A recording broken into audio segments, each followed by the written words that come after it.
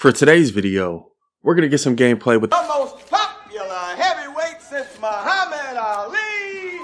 And here's what it looks like up close. Where are your clothes? Put, put, put some clothes on. Not gonna lie, I'm liking this new gray checkerboard wrap. The look of it, the taste of it, the smell of it, the texture. I guess technically it's supposed to look like that, but as of right now, this is what it looks like. You can either get it from the Art Deco llamas, or you can research it from the collection book. If you research it, it'll cost 100 legendary flux and 1500 weapon designs.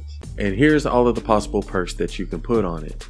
At most you can have up to 2 crit damage perks and 3 damage perks and the only elements you'll be able to choose are nature, fire, and water. But the perks we're going to use while we test it are crit damage times 2 damage, water damage, crit rating, and stunning or knocking back an enemy deals 12 base damage. And at the very bottom it says hardware medium art deco, a hammer that delivers high knockback at a decent swing rate, and it also has the big slam heavy attack that knocks back foes. And big shout out to Biscuit for letting us try out his maxed out heavyweights. And I think we'll try a couple of different loadouts, but while we test it, we're going to use Tank Penny as our commander with the totally rocking out team perk. And for our support team, we have Main Stage Quinn, Breakbeat Wildcat, Mermonster Ken, Swamp Knight, and Deadly Blade Crash. And the mission we're going to do is this power level 140, retrieve the data, and Cookies is going to be helping us out. Do you want to play a game? It's a number game. Uh, a number game? Yeah. Uh, okay, I don't mind it. So basically, I say I one shit, and then you say I two shit, and we keep going, and we just keep counting Okay. up. All right, all right. I one shit. I, I, I, I what? Wait, how do you say? I do shit. I three shit. I four shit. I five shit.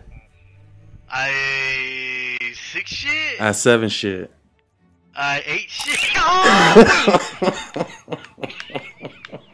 Son of a bitch. Somebody clip that. Ladies and gentlemen, we got him. I, oh my! I should. Damn it! Why didn't I think about it before? But before we get into the gameplay, I do want to test it out. And first, we're going to start off with this Fire Smasher. And we're only going to use our regular attack for this one. And it looks like we did around 240,000 damage, 220,000 when we crit.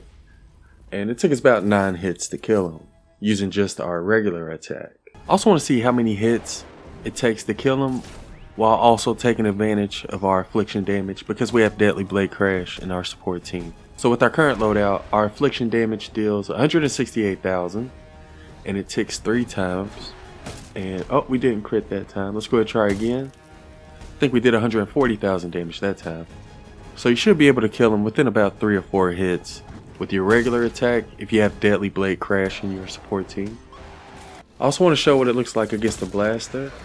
And we were able to kill him with just one regular attack, thanks to the affliction damage we got from having Deadly Blade Crash in our support team. So it only took one hit to kill the blaster, and we were also able to kill the Taker within just one hit as well. Look, it takes a lot of courage and respect. Okay, when it comes to getting blue glow. The fuck? So I, I realized something, something that really ticked me off. What? Like really, really, really ticked me off. What? They're saying that maybe anime now is starting to go to Japan, starting to go on Xbox instead of you know Sony because Sony censors everything, and I'm like, are you kidding me? He just mad he can't play his anime sex games on PlayStation no more. It's called hentai, and it's art. Dang it! I also want to show what the heavy attack looks like. And it's the same exact heavy attack as the pulverizer. And it looks like we did over 300,000 damage that time. And we're doing over 200,000 from our affliction damage. Because we have Deadly Blade Crash in our support team. And it only took us three heavy attacks to kill the power level 132 Smasher. Probably could have killed him in two if we took advantage of that affliction damage. Matter of fact, let's just go ahead and try it. Alright, so this time we're actually going to go ahead and just let our affliction damage play out. See if we can kill him in two hits. With our initial attack, we deal 360,000 damage. Our affliction damage deals 252,000. And we were able to kill them within just two heavy attacks. So the most damage we could deal with our current loadout was 360,000. We would be able to deal a little bit more if we had a better 6 perk on it, but even then, it's still not going to deal as much damage per hit compared to some other hammers. It's over, Anakin.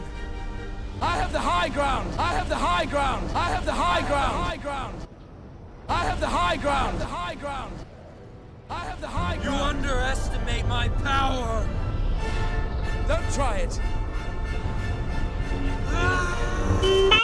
And here's what the normal attack speed looks like without any attack speed perks. And it's actually pretty good when it comes to hammers. I believe the lead sled, surround pound, and Bendotech slammer are faster, but this is definitely one of the faster ones. So I don't think you'll need to put an attack speed perk on it.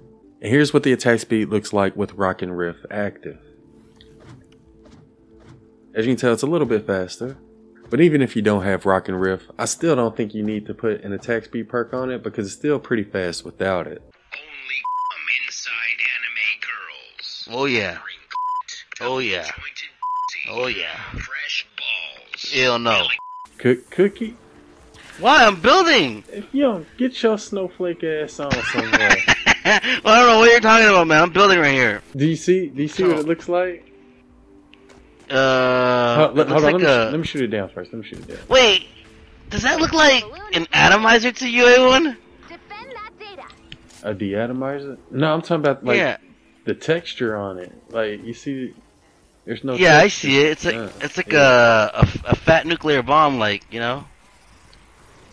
All right, so we got fire enemies on this one, and we we sort of got lucky because our thing was located right next to the right next to a pit. So uh, for the ones that get past us, we'll, we'll try to knock them into the pit. We got two defenders helping us out, and they're both using the hammer as well. And Cookies is also using it. So everybody's going to be using the Art Deco hammer. I'm not gonna lie to you, anyone or anything, but this definitely looks like the atomizer to me. What the the way it's shaped or something? yeah, the way Ah. it's like, the way it looks, like all shaped up, it definitely reminds me of the atomizer. Yeah, well, it's Art Deco. So I mean, Deco. yes, I think the maybe similar to the Husk Warper a little bit, the way it's shaped, I believe so. a little bit. My God, dude! Look, we just killed that Smasher with ease. I think your defender's Uh, down, Cookie. Yeah, one of, one of your one of your traps is like broken. I'll go pick him up if I can find him. Where'd he go? What trap is broken? Cookie? Where'd he go? I don't see him. There is nothing broken over here. Oh, oh, he's the okay. Yeah, your defender's down too, everyone. She's down there. Yeah, I'll just uh use this. Why did I'll she go into the pit? Why did she go into the I, pit? I I don't know. I, I didn't force her to go in there. Taker's out. He's about to kill me. Oh, okay, there we go. I got uh, I got a health boost. Do you need it? I'll use mine. Okay. So when it comes to the heavyweight, I do consider it to be. A really good hammer. Like with most other Art Deco weapons, it's pretty good when it comes to damage. Uh, I think the thing I like most about it is the quick attack speed. Like I said earlier, it's not the fastest, but it still feels really good, and it feels even better with Rock and Riff. So the attack speed feels really good, Oh, and the damage was pretty good too. But uh, we we could do like a lot more damage with it if we just changed our six perk. But you got to use replay. get away from there, everyone! Yep. Get away from there! I'm out. I'm out. I was trying to get. Yep. I'm out. You going to die, dude? Get out of there! And plus, we, we sort of made like a little weird build this time. I didn't want to put too many lethal traps down. So, uh, we mainly just have like wall lights and launchers around the balloon. Another file. Yeah, get smashed! And we don't have any traps in the east direction. Ooh, that's not good. Yeah, I'm about to go down, Cookie. I'm out. Uh, here, I got a health boost. Where you at? I could put down a campfire. Okay. Yeah! I probably should have put either like Arlene Isa or Birthday Jonesy or some type of hero to heal myself. Speaking of which, we did change our loadout. I probably should have mentioned that sooner. Uh, right now, we're using Deadly Blade Crash as our commander, and we put Tank Penny in our support team. Take that! Matter of fact, let's go ahead. And we also added Power Pop Penny to our support team as well, Take that, you boomer! instead of main stage Quinn. Oh my god, dude, I'm down! And the reason we chose this is because you deal like a lot more affliction damage when it triggers. Need some help over here, Cookie. I'm repairing everything. Repairing everything.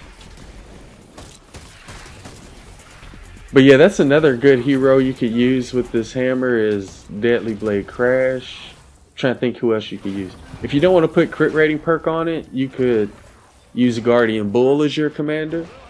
Or put him in your support team. Whew! File successfully retrieved. We could have used an Assassin Ninja as well. So there's there's a lot of different loadouts you could use for the hammer, but Oh, there's a lot of one. I'm, I'm like I'm literally about to fall right now. I got a heal. One, uh, one of our defenders, I think that's your defender. no, it's your defense. Oh wait, is it? Let me check. Mine's a girl. Oh no, no, there's a lot. Hold on. Oh no, I'm down. Oh no, I'm down here, and I fell. Anyone, don't. Okay, never mind. I got it. I'm out. Oh my god, dude, I can't get out. So yeah, I would say this is probably uh, top five hammer. I there's still a lot of other hammers I prefer. Wait, where's my slow field? Mini boss is out, Cookie. yeah, I see it. I see it. I see it. Try to get rid of this Taker if we can. He's making me nervous. It's got vortex, damage, pulse building, blocker, and berserker. A1. Yeah, I'm about to go down though. Let, let me go. To Here, my I got a health fight. boost. Dang it, I'm down again. Why don't you use your health boost, Cookie? I forgot. No worries. I can I can regenerate. No worries. If I go down because of you, Cookie. I got you. I got you. Its build held up pretty good though. It's pretty good. Oh yeah. Oh yeah. Help me kill this thing of a bobber, A1. I think the hammers I like more are the lead sled. Uh, obviously, surround pounds like the best hammer. The mythic hammer is also better. What about that beat? Uh, the one that makes that uh, beating noise. Uh, I think I forgot. Surround pound. It's not. Yes, surround pound. Is that a good one too? Yeah, I think that was better than this one. Yeah, I would say this is probably like a maybe a top five or top six hammer and save the world. Whoa! Oh man, that's how better I have it. We only got three more files left. Absolutely. But now that we've reviewed this one, all we have left when it comes to Art Deco is the other shotgun. I think it's called Big Shot. I haven't tried it yet, but that's the last weapon we have to review, people. And we'll, we'll try to do it sometime this week if we can. But I think after that, maybe we'll start going to power level 144 weapon reviews. I'm not sure if y'all would be interested in seeing that, but I was thinking we could do that or there's still some other weapons we haven't reviewed as well. So let me know what y'all would like us to do after we finish our Deco weapons. Oh shoot! I'll leave a link to all those reviews in the description, by the way. But yeah, that'll do it for our first heavyweight gameplay. For those of you who have tried it, let us know what you all think about it. Oh my god, I wasn't recording. Cookie. Are you freaking kidding me? A1? We did all this work for nothing, and all of a sudden you did Oh, I was recording. Never mind. We're good. Oh, okay, okay, okay. Alright, so we got a level 3 loot chest. Some gold reperk and schematic XP. We also got some more reperk, legendary perk up in candy. We also got some more gold, as well as an epic Argon assault rifle. Yeah, that'll do it for this one. Big shout out to Biscuit for letting us try out his heavyweight, and shout out to Cookies for helping us out. I hope y'all enjoyed it, and thanks for watching.